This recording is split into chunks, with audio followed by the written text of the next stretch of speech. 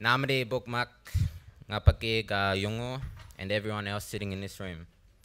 I'd like to acknowledge the traditional owners of the land, the Gumatj people.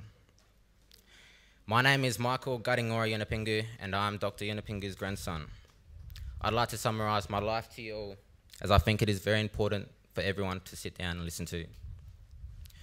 My brother and I grew up most of our lives in Adelaide, taken care of single-handedly by our mother, who is also a foster carer to many past and present, and adopted by Wandjuk Marika, who was a Rirratjingu leader.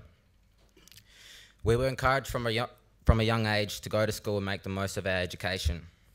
We were also encouraged to commit to sports and experience a range of programs, which allowed us to gain connections and interests.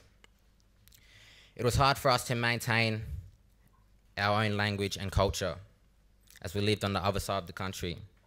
But we always knew this land was part of us and who we are. As I grew older, I started to have ambitions on what I wanted to be, and through the many opportuni opportunities my mother gave me, I've been able to chase them.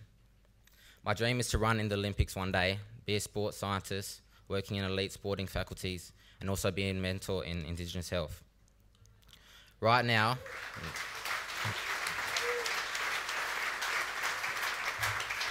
Uh, right now, I'm halfway through completing a sports science degree at UniSA and have represented the state in the 200 and 400 metres in Sydney. Yeah. um, my brother's dream is to be a filmmaker.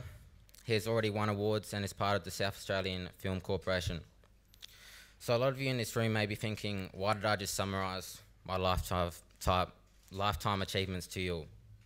Well, there are so many younger kids outside this room who want to be something when they grow up. Everyone has a dream.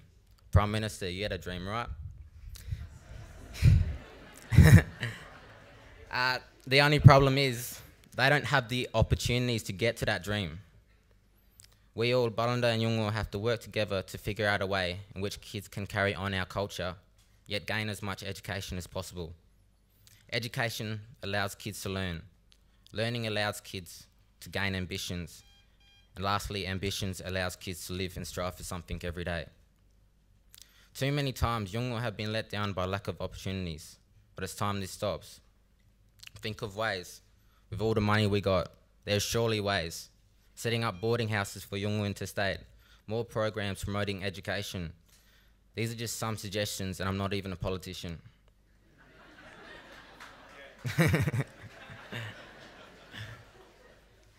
Our family, for example, have been rejected by private housing rental in Adelaide over 20 times. Yet we have seen other people after us being approved.